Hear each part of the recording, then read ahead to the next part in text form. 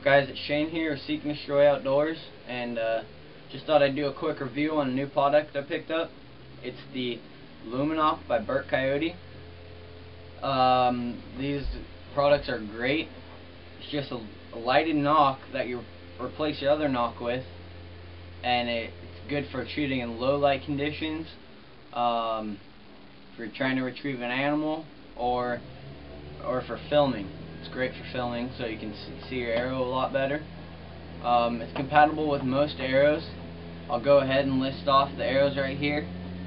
Compatible with the Carbon Express TCX, the Bonding Signature arrows, Easton Super Unit arrows, Gold Tip GT, or the PSE. They also make a special Lumenok called the Lumenok X that's compatible with the newer Easton Axis arrows.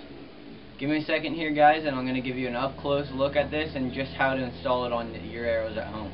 Stay tuned. Just remove the original nocks from your arrows and insert the Lumenok. When the nock is fully seated against the electrical conductive end of the carbon or aluminum arrow shaft, the Lumenok lights. Wiggling the nock back and forth will turn off the Lumenok so it is not lit anymore. The archer can take advantage of the Lumenok's high visibility to help in tuning his equipment. Small variations in arrow flight are easily detected because it is easier to see the arrows fly. In the field, a hunter can see where his hard-earned shot hits. In case the archer misses his shot, he can go directly to the arrow.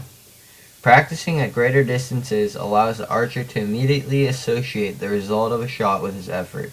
The archer's ability to see the arrow from release to impact at distances beyond 100 yards allows unprecedented rapid feedback to the shooter, even with today's fastest bows.